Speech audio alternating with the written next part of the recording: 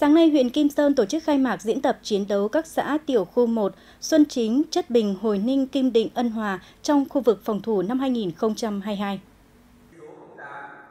Với phương châm thiết thực hiệu quả, an toàn, tiết kiệm, quán triệt tinh thần nghị quyết số 28 của Bộ Chính trị, Đảng lãnh đạo, chính quyền quản lý điều hành, cơ quan quân sự phối hợp với cơ quan công an và các ban ngành đoàn thể ở địa phương làm tham mưu và tổ chức thực hiện.